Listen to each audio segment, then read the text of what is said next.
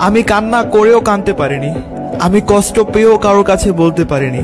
পুরোটা জীবন গেল মানুষকে বুঝতে বুঝতে। কিন্তু আফসোস, আজ পর্যন্ত আমার কেউ বুঝলো না।